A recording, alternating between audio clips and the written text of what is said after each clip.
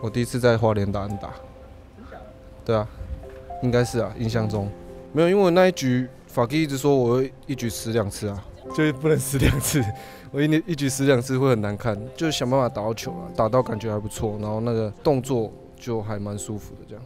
嗯，这球出手中间方向出现了 hit，要带有打点了。啊最近状况很好啊，对啊，对，恭喜他啦，不是还好，是恭喜他，对，很开心的。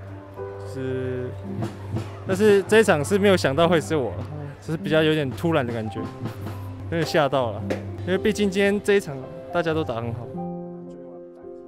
最近状况蛮好的，那今天的确他掌握度也很好，嗯，很开心，一定是很开心，而且两场都拿到，可能要回去比赛，可能就是会更有活力，有种充满电的感觉。这几场我觉得选球都蛮蛮关键的，蛮重要的。大家的选球越来越好，然后在有设定到的球种都没有什么太犹豫。这球打击出去，在中左外野方向落地形成了长打。现在弗莱西要回来，一路滚到全打墙边。那已经回来了，有两位的跑者。哇，这个时候一口气啊是三连打，带有两分打点。也是确实击球啊，对啊，然后就刚好打到洞了。很开心啊，因为很久没有在关键的时候都很少把队友送回来，然后就是蛮开心的，因为先带起一波攻势这样，对。就是谢谢大家，还是把都打的那么好，大家都有保持这样子，希望我们一直保持下去。